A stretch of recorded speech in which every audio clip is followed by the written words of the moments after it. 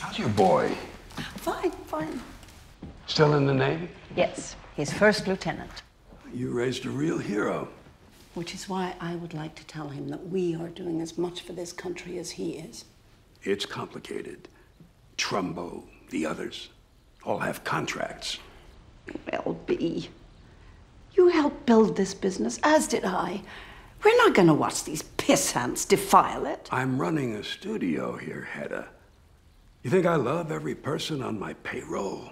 Grow up.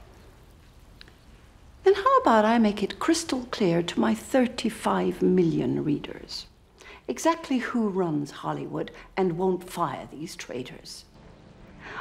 How about I name names? Real names.